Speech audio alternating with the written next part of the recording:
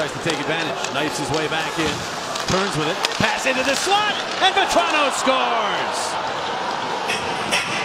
Power play goal. The Ducks end their drought and end the Flyers streak across. And it's bunted wide by LaCombe. And then off the back wall, he tried to center, hit the back of the net. LaCombe again centered, and the shot stopped by it. No, it squeezes in, according to the Ducks, not according to the referee.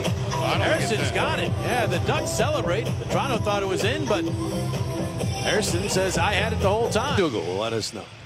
After review, it was determined that the puck com- completely crossed the goal line. We have a good goal. Wow. Well, certainly not on anything we saw. Wow. Atkinson. His pass tipped, and now Sanheim is unable to keep it in. And it's Henrique moving up with Vatrano going for the hat trick. And he scores! Second hat trick of the season for Frank the Tank.